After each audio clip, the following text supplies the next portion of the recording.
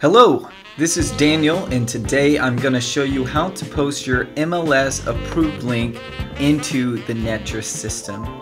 So what you want to do is from your dashboard here, you want to click the button that says My Listings. You want to navigate to the listing that you're wanting to post on MLS and click the Manage Listing button there.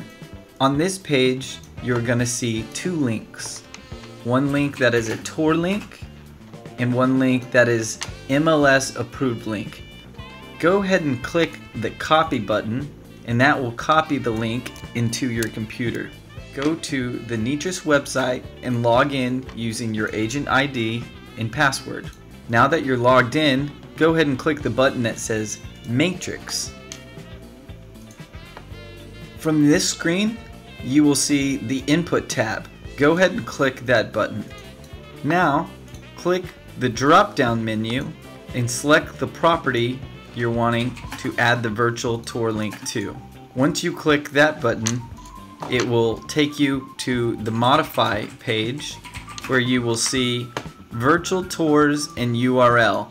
Go ahead and click that button. Here you can see virtual tour link number one and virtual tour link number two. Go ahead and post the MLS approved link into spot one and delete whatever is in spot two.